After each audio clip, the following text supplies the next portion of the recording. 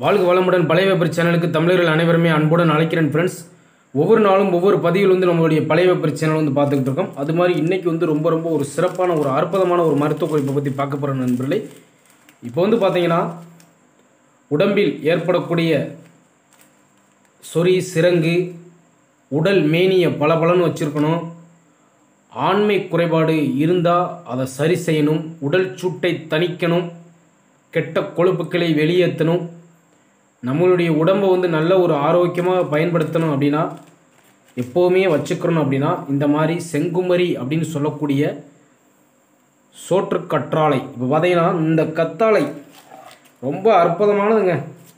இந்த கத்தாழையில் நிறையா மருத்துவ குணங்கள் இருக்குது இப்போ வந்து பார்த்தீங்கன்னா இப்படி ஒரு கத்தாழை பீஸ் இந்த மாதிரி எடுத்துக்கணும். எடுத்து இந்த அளவுக்கு ஒரு வெட்டிக்கிட்டு இந்த இதை வந்து லைட்டாக அந்த மாதிரி சீச்சிருங்க. இந்த முள்ளை மட்டும் லைட்டாக சீச்சிருங்க.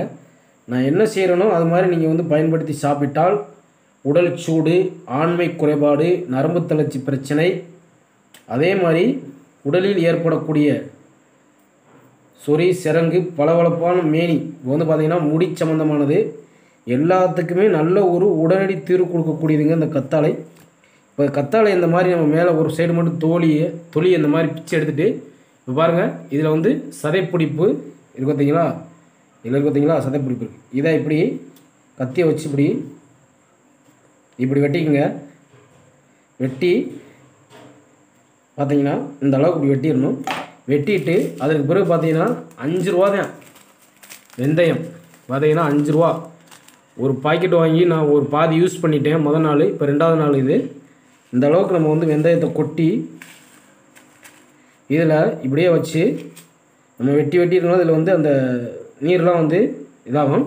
இப்படியே நம்ம வச்சு அதுக்கு பிறகு அந்த தொலியை இப்போ நம்ம வெட்டி இருக்கோம்லே அந்த தொலியை மேலே வச்சு அப்படியே நம்ம வந்து ஒரு ரப்பர் ரப்பர் போட்டு அப்படியே கட்டி வச்சிடணும் இந்த கற்றாழையிலே இந்த வெந்தயம் ஊறிடணும். ஊறினதுக்கு பிறகு அதற்கு பிறகு நம்ம எடுத்து தண்ணி ஊற்றிடக்கூடாது இது அப்படியே ஊறிடும் காலையில் அப்படியே முது முது நல்லா ஊறிடும் எடுத்து இந்த சில்லோடு வடித்து இந்த வெங்காயத்தை வெந்தயத்தையும் அப்படியே எல்லாம் எடுத்து அம்மியில் வச்சு அரைச்சாலும் சரி மிக்சியில் போட்டு நல்லா அடித்தாலும் சரி அடித்து அதற்கு பிறகு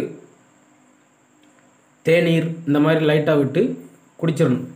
குடித்து வந்தால் உடல் சூட்டு ஆண்மை குறைபாடு நரம்பு தளர்ச்சி பிரச்சனை நம்ம உடம்புக்கு வந்து நல்ல ஒரு பளபளப்பான மேனி கொடுக்கும்.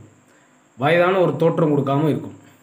அதற்கு பிறகு வெந்தயம் போடாமல் இந்த கற்றாழை மட்டும் வெட்டி எடுத்து அந்த ஜில்லை மட்டும் நம்ம உடலில் சொறி சிரங்கு இந்த மாதிரி ஏதாவது இருந்தால் அந்த இடத்துல நீங்கள் வந்து ரெகுலராக தடை வந்தால் அந்த இடம் வந்து அரிப்பு சம்மந்தமான எல்லாமே மாறி இப்போ பார்த்தீங்கன்னா இந்த ஜில்லை மட்டும் நம்ம வந்து அந்த இடத்துல. இரண்டு தொடைக்கு இடைவெளி தொடைப்பகுதி கால் பகுதி முன்னாடி பின்னாடி கழுத்து பகுதி இந்த மாதிரி அழுக்கு கசடுகள் அரிப்பு சொறி சிறங்கு இந்த மாதிரி இருந்தால் அது தேய்த்து வந்தால் உடனடி மாறிவிடும்.